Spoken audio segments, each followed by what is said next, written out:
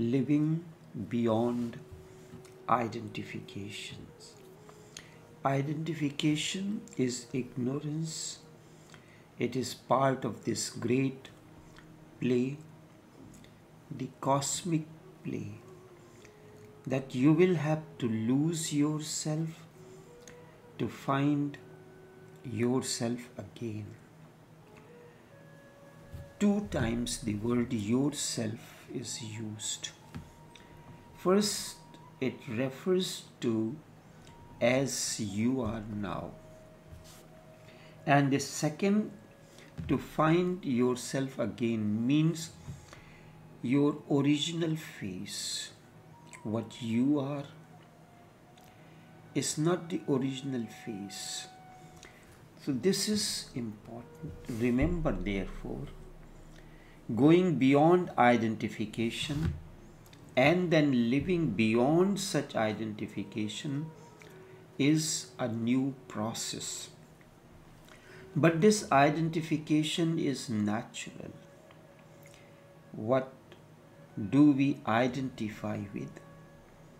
Something to define you.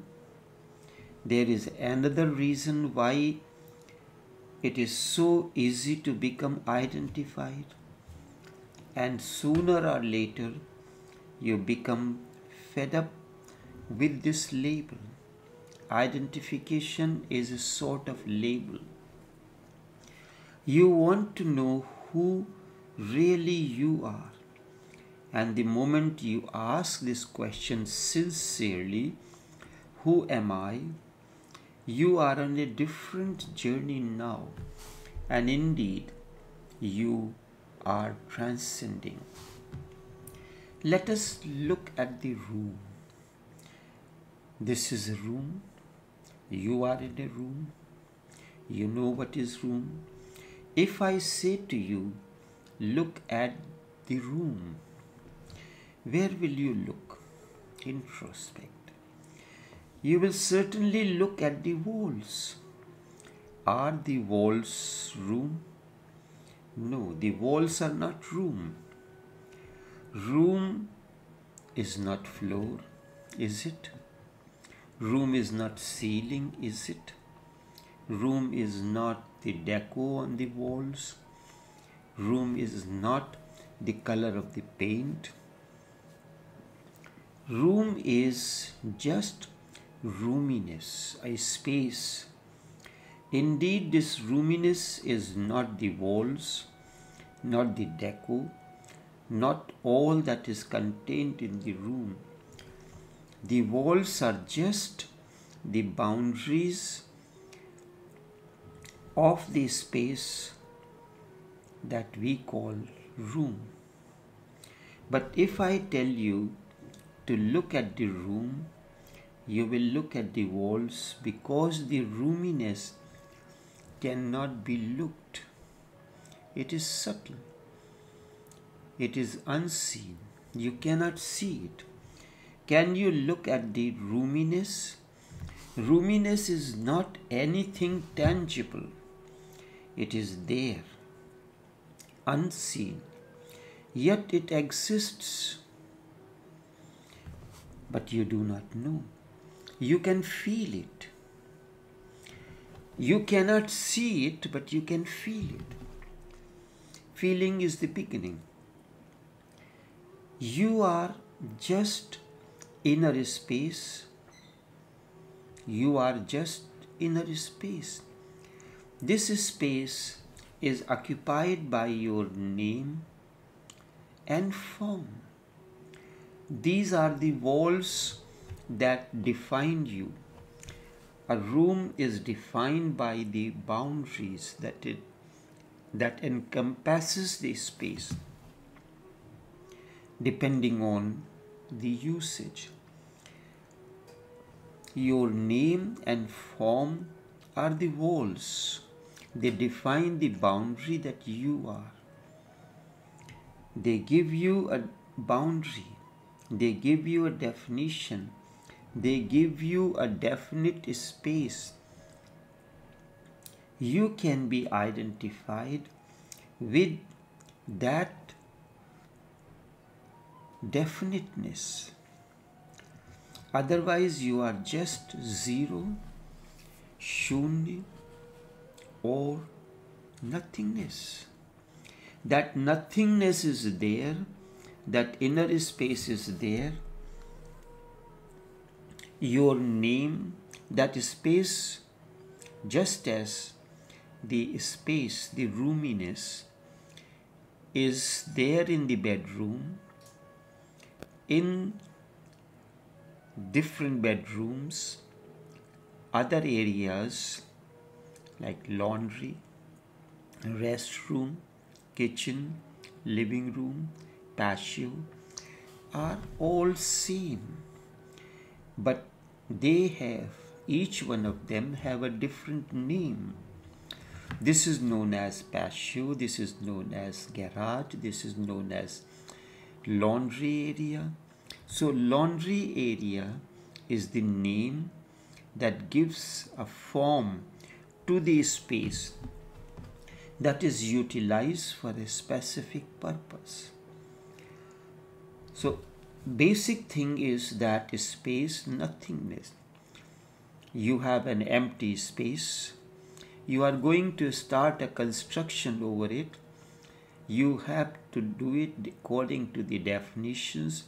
In the house, you need bedrooms, you need restrooms, you need attic, you need basement, you need garage, you need kitchen, you need living rooms. So these are the definitions where the space will be divided. You as an individual are a space defined by a name. Look at it in this way. You breathe in and you breathe out.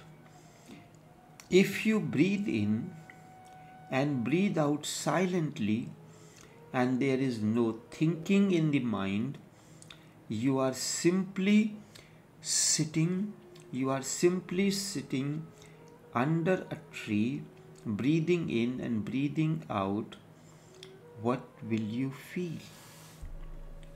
You will feel that there is outer space and there is inner space. You breathe into the inner space when you are breathing in.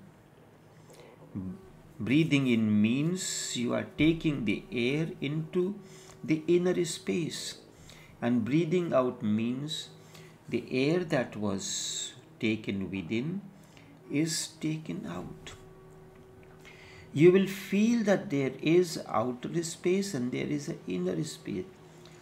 Breath comes into the inner space and then breath moves out of the outer space. There is your bedroom is inner space. You breathe into the bedroom, you breathe out of the bedroom, if you have to use that terminology. When you come in, you come in the inner space that is defined as bedroom. You breathe into the bedroom. And then you come out of that space into the outer space. You breathe out. But and breathe and breath moves out to the outer space but where are you? Have you ever introspected? These are two spaces. Your throat is just a door, just as the door in your bedroom, a swinging door. When the breath comes in, like automatic door. When the breath comes in, the breath forces the door and moves in. Automatic door. And when breath goes out, again the force, again it forces the door to go out. Like you would have seen in certain cabins. they have a kind of a swinging door. It can be pushed from either side. If somebody wants to come from inside to outside, pushes outside. It is not pull and push. It is just push from wherever you are standing. In certain office cabins, this kind of a door is put there. The person who is out, he pushes in to come in. The person who is in, he pushes out to come out. Your throat is just a swinging door, and there are two spaces the outer and the inner space. And if this door is broken, then there is no there are no two spaces. Instead there is one space. You become afraid if you feel a nothingness within. You want to be something definable. If you have no definition you will find it's a problem you want to be something definable and definite there is no one who is definite inside. The outer space is infinite and inner space is also infinite. That is why Buddha insisted that there is no soul, no Atman. You are just an empty, infinite empty space. Infinite empty space. It is difficult to feel oneself at this infinite space unless you make an arduous effort. One becomes identified with the boundaries. It is easier to feel oneself that way with the boundaries. If all the boundaries that define the room, define the different spaces in your house are removed. There will be, everything will be reduced to one single space and it will be difficult to identify. Your name is just a boundary, your body is just a boundary. You breathe into your bound body, into your space you breathe out of your space. In the house, in your home, you have different bedrooms. Each bedroom is specific for one person. He breathes into it, he breathes out of it. And that's how he lives it. All these are for outer utility. Therefore, for your own convenience also, you become identified. Then once you become identified, accumulation goes on and on and with accumulation you feel a fulfillment of the ego. You are defined with your riches, then you go on accumulating it. You have a feeling that you are growing greater and bigger. You have a big house, then a bigger house, then a still bigger house. So you feel that you are getting bigger and bigger. And that is how greed is born. Greed is nothing but an expansion. Greed is an effort to expand the ego. But howsoever great you become it is your ego and you never become infinite this is how one always has a spiritual discontent. Ego is never satisfied. Ultimately, it is frustrated, and this is how spiritual discontent comes in you. You are infinite. Nothing less will be helpful for you, and nothing less will ever satisfy you. But every boundary is going to be finite, it is needed, it is necessary in a way and useful, but it is not true. It is not true. This inner mirror, this inner mind is necessary.